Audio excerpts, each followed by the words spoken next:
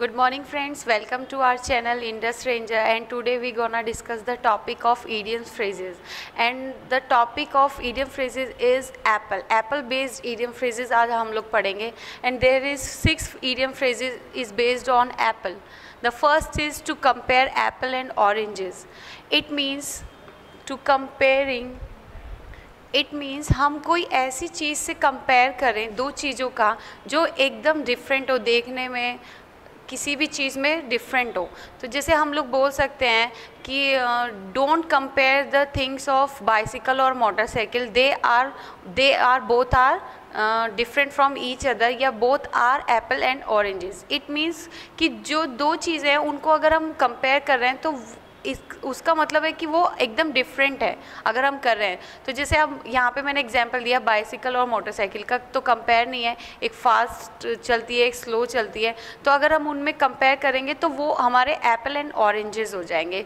To compare the things which are very different from each other that is called apple and oranges to compare apple and oranges first is to compare apple and oranges next is the apple of one side इसको हिंदी में आँखों का तारा आप पढ़े होंगे, ये वही है। तो इसको हम लिखेंगे समथिंग और समवन वेरी प्रीशियस समथिंग मतलब किसी चीज़ का या किसी पर्सन का ऐसा होना जो हमारे लिए बहुत प्रिय हो, हमारे लिए फेवरेट भी यहाँ पे लिख सकते हैं समथिंग वेरी प्रीशियस डियर और फेवरेट जो हमारे लिए बहुत प्रिय हो, उसके लिए बोलेंगे हम द एप्पल्स ऑफ़ वन आए। जैसे मैंने एक एग्ज़ाम्पल हम लोग और ले सकते हैं। She is fond of of all her dogs but the little Bella was the apple of one eye यानी कि लिटिल बेला जो है, उसके लिए बहुत प्रिय थी। या फिर मैं बोल सकती हूँ my students are my my all students are my apple of one's eye यानी कि मेरे आँखों के तारे हैं, मेरे स्टूडेंट ऐसा भी बोल सकते हैं। तो ये प्रिय होना फेवरेट होना, उसके लिए बोलेंगे हम an apple of one eye next is the apple never falls from the tree it means कि इसको थोड़ा इससे रिलेट करिए कि एक एप्पल के नीचे एक एप्पल के पेड़ के नीचे ही एप्पल गिरता है। तो जो इसको बेसिकली बोलते हैं द चिल्ड्रन पहले मैं लिख दे रही हूँ, फिर उस, आपको और अच्छे से समझ आएगा। चिल्ड्रन आर यूजली या हम ये भी बोल सकते हैं कि children are basically basically similar to their parents यानी कि जैसे चिल्ड्रन होंगे, वैसे उनके पिता होंगे, या जैसे पिता होते हैं, वैसे उनके बच्चे होते हैं.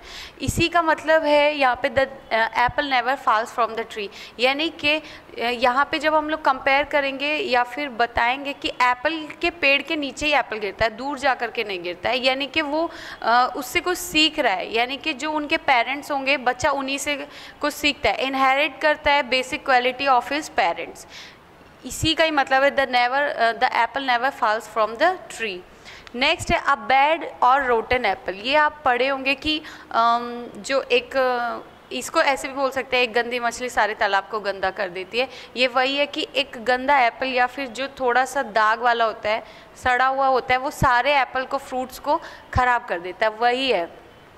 समवन और समथिंग। समवन और समथिंग जो प्रभाव डाले, यानी कि affects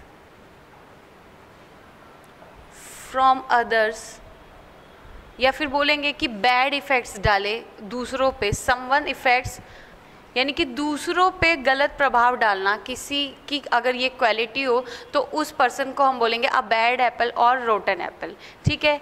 Next is apple pie order apple pie order मतलब होता है कि something arrange in a very orderly और अरेंज्ड वे यहाँ पे मैं लिख दे रही हूँ समथिंग कोई चीज़ है जो एक प्रॉपर वे में है या फिर ऑर्डर वे में है, उसको बोलेंगे एप्पल पाई ऑर्डर जैसे यहाँ पे एग्जांपल हम ले सकते हैं his room was in a apple pie order कि जब मैं उसके रूम में गया, उसका रूम पूरा एप्पल पाई ऑर्डर में था, पूरी सीरीज़ में था, ऐसे भी बोल सकते हैं the library was in apple pie order जो लाइब्रेरी में बुक्स थी, वो भी पूरी एप्पल पाई ऑर्डर में थी. यानी कि कोई सिस्टम तरीके से, कोई सीरीज़ वे में ऑर्डरली तरीके से प्रॉपर वे में रखी गई है तो उसको बोलेंगे एन एप्पल पाई ऑर्डर इसी का अपोजिट है, जैसे हम बोलते हैं at sixes and eleven sixes and eleven अगर आपके क्वेश्चन में आए एट सिक्सेस एंड इलेवन तो ये इसका अपोजिट है इन अ डिसऑर्डर वे यानी कि पूरा अस्त व्यस्त तरीके से रखा गया हो तो उसको बोलेंगे इन अ डिजॉर्डर वे ये इसका अपोजिट है. एप्पल पाई ऑर्डर का at six and eleven opposite है, यानी कि सब डिसऑर्डर वे में रखा गया है। अगर एप्पल पाई ऑर्डर है तो सब ऑर्डरली वे में रखा गया है। Next and the last is apple of discord apple of discord means a cause of dispute झगड़े की वजह, झगड़े का कारण a cause of dispute apple of discord it means ऐसे एग्ज़ाम्पल में ले सकते हैं the property was a was a cause of discord या फिर apple of discord between two brothers यानी कि दो ब्रदर्स के बीच में जो कारण का वजह झगड़े की वजह थी, कारण था, वो था property the property was the apple of discord between two brothers इसको ऐसे याद करेंगे. फिर से एक बार रिवाइज कर लेते हैं। ईडियम फ्रेजेस की सीरीज़ चल रही है। जैसे मैंने रूट वर्ड की सीरीज़ चलाई थी, उसमें टेन हम लोग रूट वर्ड्स किए। अब जो ईडियम फ्रेजेस की रूट वर्ड सीरीज़ चलेगी, ऐसे ही चलेगी। तो पहला जो रूट वर्ड आज हमारा है, वो है एप्पल तो एप्पल में जैसे मैंने यहाँ पे सिक्स लिखे हैं, अब यहाँ पे तो मैंने सिक्स लिख दिया। आप यहाँ पे एक कॉपी में फिर से अपनी बुक्स उठाइए या गूगल करिए कि एप्पल से बेस्ड और कौन कौन से ईडियम फ्रेजेस हो सकते हैं। तो ऐसे आपके और बढ़ेंगे। एग्ज़ाम्स आ रहे हैं तो they are very important first is to compare apple and oranges apple से मतलब ये नहीं है कि हम लोग सेब को लेकर के चलेंगे। ये इंटरनली मीनिंग्स के ईडियम uh, फ्रेजेस होते हैं। जैसे first to compare apple and oranges apple और ऑरेंज को कंपेयर कर रहे हैं, यानी कि बता रहे हैं कि जो दो थिंग्स हैं, जो अप, एकदम अपोजिट हैं, उनका कंपेयर करना। मैंने एग्जांपल दिया बाइसिकल और साइकिल का, मोटरसाइकिल का, आप किसी का भी कंपेयर कर सकते हैं। तो जो डिफरेंट हो, आप एक दूसरे से अलग हो तो वहाँ पे बोलेंगे to compare apple and oranges next is the apple of one sigh यानी कि आँख का तारा होना, किसी के लिए फेवरेट होना, प्रिय होना, उस जो हमारे लिए प्रिय हो, उसके लिए बोलेंगे this is of my apple of apple of an eye ठीक है? Next is the apple never falls from the tree जैसे पेड़ के नीचे ही कोई फल गिरता है, यानी कि एप्पल के पेड़ के नीचे एप्पल गिर रहा है तो वो उससे कुछ एनहेरिट कर रहा है, यानी कि इसको यूजुअली जनरली हम लोग किससे रिलेट करेंगे? कि फादर से ही बच्चे सीखते हैं। The children usually inherits the basic quality of his parents तो ऐसे उसको रिलेट करके चलेंगे।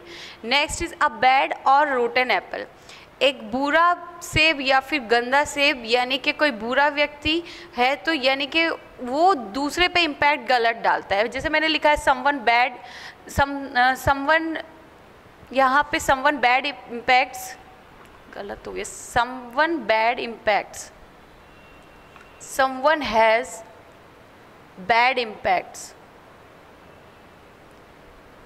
पहले भी सही था, लेकिन यहाँ पे इस, ये वाली लाइन ज़्यादा इफ़ेक्ट कर रही है। जैसे क्वेश्चन आप, आपका है someone has bad impacts from others दूसरे पे गलत प्रभाव डाले तो उसको बोलते हैं a bad rap rotten apple वो आपके समझने के लिए था, यहाँ पे क्वेश्चन की लाइन इस तरीके से आएगी। यानी कि जो दूसरों पे गलत प्रभाव डाले, उसको बोलते हैं अ बैड और rotten apple next is apple pie order apple pie order यानी कि सिस्टम वे में कोई रखा हो ऑर्डर वे में रखा हो प्रॉपर वे में रखा हो। जैसे किसी रूम में आप गए, वहाँ पे सब कुछ something very arrange in a proper way chairs हो बुक्स हो लाइब्रेरी में बुक्स हो, सब प्रॉपर वे में रखा गया है तो उसको बोलेंगे एप्पल पाई ऑर्डर यानी कि library was in apple pie order next is apple of discord. Apple of discord मतलब कोई कारण, झगड़े का कारण झगड़े की वजह तो उसको बोलते हैं कॉज ऑफ़ डिस्प्यूट यानी कि एप्पल ऑफ़ डिस्कॉर्ड मैंने जैसे एग्जांपल भी दिया the property was a apple of discord between two brothers दो भाइयों के बीच में प्रॉपर्टी झगड़े की वजह थी। तो इस तरह से हमारे आज सिक्स ईडियम फ्रेजेज हुए जो एप्पल पे बेस्ड थे। आप इसका स्क्रीनशॉट ले लीजिए। एग्ज़ाम्पल के थ्रू अगर आप करते हैं तो आपको जल्दी याद होगा। जैसे आप कोई भी ईडियम फ्रेजेज लिए, उसका अपने तरीके से एग्ज़ाम्पल बनाई? ये नहीं है कि मैम जो बता रही हैं, उसी को याद किए। अपना बनाइए एग्ज़ाम्पल तो हमेशा आपको वो ईडियम्स याद हो जाएगी। इसका आप स्क्रीनशॉट ले लीजिए। आज हमारा एप्पल पे बेस्ड हो गया। नेक्स्ट हमारी जो ईडियम फ्रेजेज होगी वो फ़िश पे बेस्ड होगी। फ़िश से तो एग्ज़ाम में इतनी ईडियम्स फ्रेजेज आती हैं। अगर आ, मैं इसको दो वीडियो में बनाऊँगी फ़िश को। अगर आप उससे रिलेटेड और भी लाते हैं तो वो आपके लिए बहुत इंपॉर्टेंट होगी। उसको आप करते चलिए। Thank you